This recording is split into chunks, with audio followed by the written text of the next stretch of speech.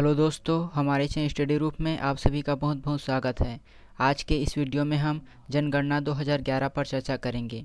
हम देखेंगे कि छत्तीसगढ़ राज्य में विभिन्न आधारों पर जिलों की स्थिति क्या है। तो चलिए शुरू करते हैं। सबसे पहले हम देखते हैं कि 2011 की जनगणना के अनुसार छत्तीसगढ़ राज्य की जनसंख्या कितनी थी।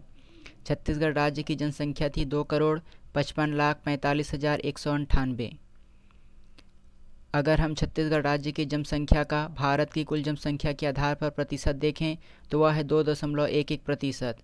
वहीं देश में छत्तीसगढ़ राज्य की जनसंख्या के आधार पर स्थान था सोलवा स्थान। परीक्षा में यह पूछा जाता है कि छत्तीसगढ़ राज्य की जनसंख्या देश की कुल जनसंख्या का कितने प्रतिशत है तो वह है दो दशमलव एक एक प्रतिशत। और जनसंख्या के आधार पर छत्तीसगढ़ राज्य का कौन सा स्थान है तो वह है सोलवा स्थान। वहीं अगर छत्तीसगढ़ राज्य के विभिन्न जिलों की जनसंख्या का क्रम देखें तो छत्तीसगढ़ राज्य में सबसे अधिक जनसंख्या वाले ज़िले हैं रायपुर, बिलासपुर, उसके बाद है दुर्ग। इस क्रम को हमें याद रखना है कि सबसे अधिक जनसंख्या वाले ज़िले का क्रम है रायपुर, पहले स्थान पर है, उसके बाद है बिलासपुर, उसके बाद है दुर्ग। वहीं अगर राज्य में न्यूनतम जनसंख्या वाले ज़िलों की बात करें तो हमारे राज्य में सबसे कम जनसंख्या वाला ज़िला है नारायणपुर, उसके बाद दूसरे स्थान पर है सुकमा उसके बाद अगला स्थान है दंतेवाड़ा।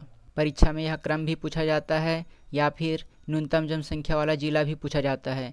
तो इन दोनों को हमें याद रखना है कि राज्य में न्यूनतम जनसंख्या वाला जिला है नारायणपुर, और अगर क्रम पूछा जाए तो सबसे कम जनसंख्या है नारायणपुर में, उसके बाद है सुकमा में, उसके बाद है दंतेवाड़ा में। अगला हम देखते हैं दस की जनसंख्या वृद्धि दर। हम जानते हैं कि जनगणना 10 वर्षों के अंतराल में होती है तो पिछले दशक की तुलना में इस दशक जनसंख्या में कितने प्रतिशत की वृद्धि हुई, उसे ही कहा जाता है 10 की जनसंख्या वृद्धि दर। यह 10 की जनसंख्या वृद्धि दर 2001 से लेकर 2011 के मध्य के जनसंख्या के आधार पर आकलित की जाती है। अगर हम छत्तीसगढ़ राज्य के 10 की जनसंख्या वृद्धि की बात करें तो वह है बाईस दशमलव छः एक प्रतिशत। परीक्षा में यह पूछा जाता है अक्सर कि राज्य के दस की जनसंख्या वृद्धि कितनी है तो वह है बाईस दशमलव छः एक प्रतिशत। राज्य में सर्वाधिक दस की जनसंख्या दर वाले ज़िले कौन से हैं? तो राज्य में सर्वाधिक दस की जनसंख्या वृद्धि दर वाले ज़िले हैं बलौदाबाजार जहाँ पर दस की जनसंख्या वृद्धि थी उनचास दशमलव आठ सात प्रतिशत। वहीं अगर न्यूनतम दस की वृद्धि दर की बात करें तो वह है सुकमा, जहाँ पर आठ दशमलव एक छः प्रतिशत थी। अगला हम देखते हैं लिंगानुपात के आधार पर विभिन्न जिलों की स्थिति। लिंगानुपात का तात्पर्य होता है कि प्रति एक हज़ार पुरुषों की तुलना में महिलाओं की संख्या कितनी है। तो हमारे राज्य में प्रति एक हज़ार पुरुषों की तुलना में महिला की संख्या है नौ सौ इक्यानवे और लिंगानुपात के आधार पर हमारे राज्य का देश में चौथा स्थान है। इसे हमें याद रखना है कि लिंगानुपात के आधार पर हमारे राज्य का देश में चौथा स्थान है और अगर लिंगानुपात पूछा जाए तो हमारे राज्य का लिंगानुपात है नौ सौ इक्यानवे। वहीं अगर सर्वाधिक लिंगानुपात वाले ज़िले की बात करें, हमारे राज्य में सर्वाधिक लिंगानुपात वाला ज़िला है कोंडागांव, जहाँ पर एक हज़ार तैंतीस लिंगानुपात है। अर्थात वहाँ पर एक हज़ार पुरुषों की तुलना में एक हज़ार तैंतीस महिलाएँ हैं। वहीं अगर न्यूनतम लिंगानुपात की बात करें तो वह है रायपुर ज़िले में, जहाँ पर छः सौ तिरसठ महिलाएँ हैं प्रति एक हज़ार पुरुषों की तुलना में। अगला हम देखते हैं जनसंख्या घनत्व। जनसंख्या घनत्व का तात्पर्य होता है कि प्रति इकाई वर्ग किलोमीटर क्षेत्र में कितने व्यक्ति निवास करते हैं। अर्थात अगर हम राज्य की कुल जनसंख्या से अगर हम कुल क्षेत्रफल को भाग कर देंगे तो हमें प्राप्त हो जाएगा कि जनसंख्या घनत्व कितना है। अर्थात एक किलोमीटर वर्ग क्षेत्र में कितने व्यक्ति निवास करते हैं, उस संख्या को जनसंख्या घनत्व कहा जाता है। अगर हम राज्य के जनसंख्या घनत्व की बात करें तो वह है एक सौ नवासी। परीक्षा में यह पूछा जाता है कि राज्य की जनसंख्या घनत्व कितनी है तो वह है एक सौ नवासी। और अगर हम जनसंख्या घनत्व के आधार पर राज्य की देश में स्थान देखें तो वह है बीसवा स्थान। अर्थात जनसंख्या घनत्व के आधार पर राज्य का देश में बीसवा स्थान है। वहीं अगर हम सर्वाधिक जनसंख्या घनत्व वाले ज़िले की बात करें तो वह है जांजगीर चांपा, जहाँ पर जनसंख्या घनत्व सबसे अधिक 420 है। यह 18 जिलों के आधार पर है, जबकि 27 जिलों के आधार पर सर्वाधिक जनसंख्या घनत्व वाला जिला दुर्ग है। तो इस अंतर को हमें याद रखना है कि 18 जिलों के आधार पर राज्य की सर्वाधिक जनसंख्या घनत्व वाला जिला जांजगीर चांपा है, जहाँ की जनसंख्या घनत्व 420 है। अगर हमें 27 जिलों के आधार पर पूछा जाए तो 27 जिलों के आधार पर सर्वाधिक जनसंख्या घनत्व वाला जिला दुर्ग है। अगर न्यूनतम जनसंख्या घनत्व वाले जिलों की बात करें तो हमारे राज्य में न्यूनतम जनसंख्या घनत्व वाले ज़िले हैं नारायणपुर, जहाँ पर केवल 30 व्यक्ति एक किलोमीटर वर्ग क्षेत्रफल में निवास करते हैं। अब हम अगला देखते हैं कि लिंगानुपात के आधार पर जिलों का क्रम क्या है? अर्थात सर्वाधिक लिंगानुपात वाले शीर्ष चार ज़िले कौन से हैं? सबसे अधिक लिंगानुपात वाले ज़िले हैं कोंडागांव, जहाँ का लिंगानुपात है एक हज़ार तैंतीस। उसके बाद आता है दूसरे स्थान पर दंतेवाड़ा, जहाँ पर लिंगानुपात है एक हज़ार तेईस। उसके बाद तीसरे स्थान पर है बालोद, जहाँ लिंगानुपात है एक हज़ार बाईस। और चौथे स्थान पर है गरियाबंद, जहाँ का लिंगानुपात है एक हज़ार बीस। परीक्षा में यह पूछा जाता है कि लिंगानुपात को क्रम में व्यवस्थित कीजिए। तो सबसे पहला आएगा कोंडागांव, उसके बाद आएगा दंतेवाड़ा, तीसरे स्थान पर आएगा बालोद और चौथे स्थान पर आएगा गरियाबंद। अगर हम राज्य में जनगणना 2011 के अनुसार शिशुओं की स्थिति देखें तो हमारे राज्य में शिशु लिंगानुपात नौ सौ उनहत्तर है।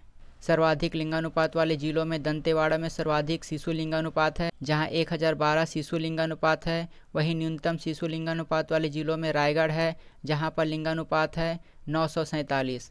अर्थात यहाँ पर शिशु लिंगानुपात की स्थिति सबसे खराब है। केंद्र सरकार के द्वारा बेटी बचाओ, बेटी पढ़ाओ अभियान की शुरुआत रायगढ़ ज़िले से की गई थी, क्योंकि यहाँ पर शिशु लिंगानुपात सबसे कम है। अगर हम छत्तीसगढ़ राज्य में शहरीकरण की बात करें तो हमारे राज्य के तेईस दशमलव दो चार प्रतिशत क्षेत्र शहरी क्षेत्र हैं। नगरीय जनसंख्या प्रतिशत के आधार पर शीर्ष जिला है दुर्ग जिला, जहाँ पर चौंसठ दशमलव एक पाँच प्रतिशत शहरी क्षेत्र हैं। वहीं अगर हम न्यूनतम शहरी क्षेत्र की बात करें रामपुर ज़िले में क्षेत्र और इसके विपरीत अगर हम ग्रामीण क्षेत्र की बात करें तो सबसे अधिक ग्रामीण क्षेत्र बलरामपुर में है, कि सबसे कम ग्रामीण क्षेत्र दुर्ग ज़िले में है। यह परीक्षा पूछा जाता है कि नगरीय क्षेत्रों का जो प्रतिशत क्रम है, उसे लिखिए। तो सर्वाधिक नगरीय क्षेत्र दुर्ग ज़िले में है, जो कि चौंसठ दशमलव एक पाँच प्रतिशत है। दूसरे स्थान पर रायपुर है, जहाँ पर उनसठ दशमलव ज़ीरो आठ प्रतिशत क्षेत्र नगरीय क्षेत्र हैं।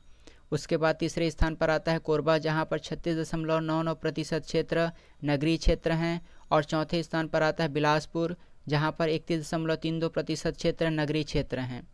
तो इस क्रम को हमें याद रखना है, सबसे अधिक दुर्ग में है, उसके बाद रायपुर, उसके बाद आता है कोरबा, और अंत में आता है बिलासपुर। अगर हम ग्रामीण क्षेत्रों के प्रतिशत क्रम की बात करें तो सबसे अधिक ग्रामीण क्षेत्र बलरामपुर में है, उसके पश्चात है गरियाबंद, उसके पश्चात है जसपुर, और उसके बाद आता है सूरजपुर। तो इस क्रम को भी हमें याद रखना है कि ग्रामीण क्षेत्रों का प्रतिशत क्रम घटते क्रम में लिखिए तो सबसे अधिक ग्रामीण क्षेत्र बलरामपुर में है, उसके बाद गरियाबंद, जसपुर, उसके बाद आता है सूरजपुर। अगर हम शहरी जनसंख्या की बात करें तो सर्वाधिक शहरी जनसंख्या वाला जिला है रायपुर, जबकि न्यूनतम शहरी जनसंख्या वाला जिला है नारायणपुर।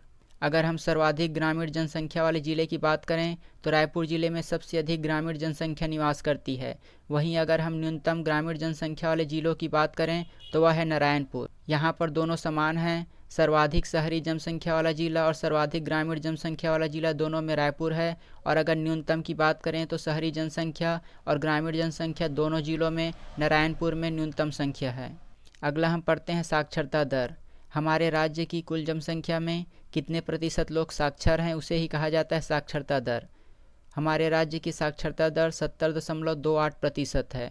वहीं अगर पुरुष साक्षरता की बात करें तो वह है अस्सी दशमलव दो सात प्रतिशत। अगर हम महिला साक्षरता की बात करें तो वह है साठ दशमलव दो चार प्रतिशत। तीनों को याद रखना है कि हमारे राज्य में साक्षरता प्रतिशत सत्तर दशमलव दो आठ प्रतिशत है। वहीं पुरुष साक्षरता अस्सी दशमलव दो सात प्रतिशत और महिला साक्षरता साठ दशमलव दो चार प्रतिशत है।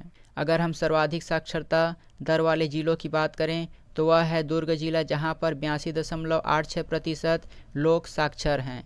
और अगर हम न्यूनतम साक्षरता दर की बात करें तो सुकमा ज़िले में केवल चौंतीस दशमलव आठ प्रतिशत लोग साक्षर हैं। अच्छा में यह भी पूछा जाता है कि साक्षरता दर के जिलों को घटते क्रम में लिखिए। सबसे अधिक साक्षरता दर वाला जिला है दुर्ग जिला, जहाँ पर बयासी दशमलव पाँच छः प्रतिशत लोग साक्षर हैं। वहीं दूसरे स्थान पर रायपुर उसके बाद आता है बालोद और उसके पश्चात आता है धमतरी। अगर हमें पूछा जाए कि सर्वाधिक पुरुष साक्षरता या फिर सर्वाधिक महिला साक्षरता दर कहाँ सबसे अधिक है तो दुर्ग ज़िले में ये दोनों प्रथम स्थान पर है। अर्थात दुर्ग ज़िले में सर्वाधिक पुरुष साक्षर हैं और सर्वाधिक महिलाएँ साक्षर हैं। वहीं अगर हम न्यूनतम पुरुष और न्यूनतम महिला साक्षरता दर की बात करें तो इन दोनों में सुकमा का प्रथम स्थान है। अर्थात सुकमा ज़िले में सबसे कम पुरुष और सबसे कम महिला साक्षरता दर है। वहीं अगर अनुसूचित जाति और अनुसूचित जनजाति इन दोनों में सर्वाधिक साक्षरता दर की बात करें, इन दोनों में प्रथम स्थान पर है बालोद जिला। साक्षरता दर में दुर्ग प्रथम स्थान पर है, परंतु अगर हमें पूछा जाए कि अनुसूचित जाति और अनुसूचित जनजाति में सर्वाधिक साक्षर जिला कौन सा है तो वह है बालोद जिला। इसके बाद हम अगला देखते हैं, कार्यबल, भागीदारी, अनुपात। अर्थात कार्यशील जनसंख्या कितनी है? राज्य की कितने प्रतिशत जनसंख्या कार्यशील हैं? उसे ही कहा जाता है कार्यबल भागीदारी अनुपात। अगर हम राज्य में कार्यबल भागीदारी अनुपात की बात करें तो वह है सैंतालीस दशमलव छः आठ प्रतिशत। कार्यशील भागीदारी अनुपात में जिलों का क्रम है। सबसे अधिक कार्यशील भागीदारी अनुपात है जसपुर ज़िले में, उसके पश्चात है सुकमा ज़िले में, उसके बाद अगला क्रम है कोंडागांव और उसके बाद आता है बीजापुर। परीक्षा में अगर हमें पूछा जाए कि कार्यशील भागीदारी अनुपात सबसे अधिक किस ज़िले में है तो वह है जसपुर ज़िले में। और इस क्रम को हमें याद रखना है कि हमारे राज्य में कार्यशील भागीदारी अनुपात में शीर्ष स्थान है जसपुर ज़िले का, उसके पश्चात सुकमा ज़िले का, उसके बाद आता है कोंडागांव और उसके बाद आता है बीजापुर। वहीं अगर हम न्यूनतम कार्यशील भागीदारी अनुपात की बात करें तो सबसे कम कार्यशील भागीदारी अनुपात है दुर्ग ज़िले का, उसके बाद आता है रायपुर ज़िले का उसके बाद कोरबा जिला और उसके बाद आता है बिलासपुर जिला। परीक्षा में यह पूछा जाता है कि न्यूनतम कार्यशील भागीदारी अनुपात को क्रम में लिखिए तो पहले स्थान पर आएगा दुर्ग, उसके बाद रायपुर, उसके बाद कोरबा, उसके बाद आएगा बिलासपुर। अर्थात दुर्ग ज़िले में कार्यशील भागीदारी अनुपात सबसे कम है। उसके बाद हम अगला देखते हैं अनुसूचित जाति के बारे में। जनगणना में अनुसूचित जाति का प्रतिशत दिया गया है बारह दशमलव आठ दो प्रतिशत। अर्थात हमारे राज्य की कुल जनसंख्या के बारह दशमलव आठ दो प्रतिशत अनुसूचित जाति है। अगर हम अनुसूचित जाति के सर्वाधिक प्रतिशत वाले ज़िले की बात करें तो मुंगेली ज़िले में सत्ताईस दशमलव सात छः प्रतिशत जनसंख्या अनुसूचित जाति की है। वहीं अगर हम न्यूनतम प्रतिशत वाले ज़िले की बात करें तो वह है सुकमा जिला, जहाँ पर केवल एक दशमलव एक प्रतिशत लोग अनुसूचित जाति के अंतर्गत आते हैं। प्रतिशत क्रम में शीर्ष पर है मुंगेली और सबसे न्यूनतम है सुकमा। वहीं अगर हम जनसंख्या की बात करें तो अनुसूचित जाति का सर्वाधिक जनसंख्या वाला जिला है जांजगीर चांपा। और अगर न्यूनतम अनुसूचित जाति जनसंख्या वाले ज़िले की बात करें तो वह है सुकमा। यहाँ पर इन दोनों में प्रतिशत और जनसंख्या दोनों में सुकमा न्यूनतम है। वहीं अगर प्रतिशत में शीर्ष स्थान पर मुंगेली है और अगर हम जनसंख्या की बात करें तो सबसे अधिक अनुसूचित जाति जनसंख्या जांजगीर चांपा ज़िले में निवास करती है। अगर हम अनुसूचित जाति के लिंगानुपात की बात करें तो सर्वाधिक अनुसूचित जाति लिंगानुपात वाला जिला है राजनांदगांव, जबकि अनुसूचित जाति में न्यूनतम लिंगानुपात वाला जिला है सुकमा। अगर हम अनुसूचित जाति जनसंख्या प्रतिशत की बात करें तो सर्वाधिक अनुसूचित जाति जनसंख्या प्रतिशत मुंगेली में है, उसके बाद आता है जांजगीर चांपा, उसके बाद आता है बलौदा बाज़ार, उसके बाद आता है बिलासपुर। इस क्रम को हमें याद रखना है। हम जानते हैं कि प्रतिशत में सबसे अधिक अनुसूचित जाति मुंगेली में है, उसके बाद आता है जांजगीर चांपा बलौदा बाज़ार और बिलासपुर। अगर हम राज्य में ओवरऑल अनुसूचित जाति के लिंगानुपात की बात करें तो वह है नौ सौ चौरानवे। अनुसूचित जाति के साक्षरता दर कितनी है तो राज्य में अनुसूचित जाति की साक्षरता दर सत्तर दशमलव सात छः प्रतिशत है। अगला हम पढ़ते हैं अनुसूचित जनजाति की स्थिति के बारे में। राज्य में अनुसूचित जनजाति के कुल प्रतिशत की बात करें तो वह है तीस दशमलव छः दो प्रतिशत। अर्थात हमारे राज्य की कुल जनसंख्या का तीस दशमलव छः दो प्रतिशत अनुसूचित जनजाति के अंतर्गत आते हैं। अगर हम अपने राज्य में अनुसूचित जनजाति के सर्वाधिक प्रतिशत वाले जिलों की बात करें तो वह है सुकमा जिला, जिसमें तिरासी दशमलव चार सात प्रतिशत जनसंख्या अनुसूचित जनजाति के अंतर्गत आती है। वहीं अगर हम अनुसूचित जनजाति के सर्वाधिक जनसंख्या वाले जिलों की बात करें तो हमारे राज्य में सबसे अधिक अनुसूचित जनजाति जसपुर ज़िले में निवास करती है। वहीं अगर हम न्यूनतम अनुसूचित जनजाति जनसंख्या वाले जिलों की बात करें तो वह है बेमेतरा, जहाँ पर सबसे कम अनुसूचित जनजाति जनसंख्या निवास करती है। इस अंतर को हमें याद रखना है कि अगर अनुसूचित जनजाति पूछा जाए तो सुकमा में सबसे अधिक है, और अगर अनुसूचित जाति पूछा जाए तो सुकमा में सबसे कम है।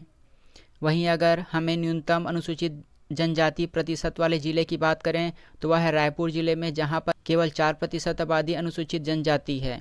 अगर सर्वाधिक अनुसूचित जनजाति जनसंख्या वाले ज़िले की बात करें तो वह है जसपुर जिला, वहीं अगर न्यूनतम अनुसूचित जनजाति जनसंख्या वाले ज़िले की बात करें तो वह है बेमेतरा। परीक्षा में यह पूछा जाता है कि सर्वाधिक अनुसूचित जनजाति लिंगानुपात वाला जिला कौन सा है तो वह है दक्षिण बस्तर, दंतेवाड़ा, जबकि न्यूनतम अनुसूचित जनजाति लिंगानुपात वाला ज़िले की बात करें तो वह है रायपुर जिला। अगर हम अपने राज्य में अनुसूचित जनजाति लिंगानुपात की बात करें तो वह है एक हज़ार बीस। अर्थात हमारे राज्य में प्रति एक हज़ार अनुसूचित जनजाति पुरुषों की तुलना में एक हज़ार बीस अनुसूचित जनजाति महिलाएँ निवास करती है। अगर हम अनुसूचित जनजाति जनसंख्या के प्रतिशत का क्रम देखें तो शीर्ष चार जिलों का क्रम यहाँ पर आप देख सकते हैं। सर्वाधिक अनुसूचित जनजाति निवास करती है सुकमा ज़िले में, उसके बाद आता है बीजापुर, नारायणपुर और दंतेवाड़ा। यह परीक्षा में अक्सर पूछा जाता है कि अनुसूचित जनजाति जनसंख्या का प्रतिशत क्रम लिखिए तो सबसे पहला आएगा सुकमा उसके बाद दूसरे स्थान पर बीजापुर, नारायणपुर और उसके बाद आएगा दंतेवाड़ा। इसके पश्चात हम छत्तीसगढ़ राज्य के बारे में संक्षेप में देखते हैं। छत्तीसगढ़ राज्य की जनसंख्या वृद्धि दर की बात करें तो 2001 से 2011 के मध्य में यह बाईस दशमलव छः एक प्रतिशत थी। वहीं अगर पिछले दस की जनसंख्या वृद्धि दर की बात करें तो उन्नीस सौ इक्यानवे से 2001 के मध्य में यह केवल उन्नीस दशमलव सात प्रतिशत थी। हमारे राज्य का लिंगानुपात नौ सौ इक्यानवे है।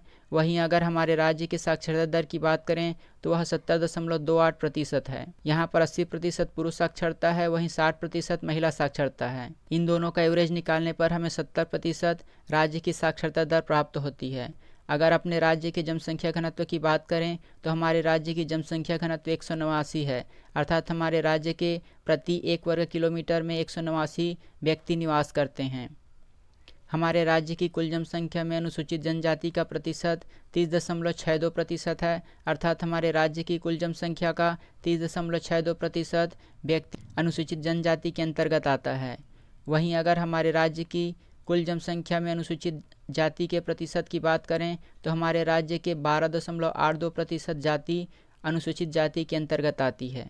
तो आज के लिए बस इतना ही। अगर आपको हमारी ये वीडियो अच्छी लगी और आगे भी ऐसे ही और वीडियो पाना चाहते हैं तो हमारे चैनल को सब्सक्राइब कीजिए और बगल का नोटिफिकेशन बेल भी ऑन कर दीजिए ताकि हमारे द्वारा डाली गई सारी वीडियो आप तक पहुँचे सबसे पहले। धन्यवाद।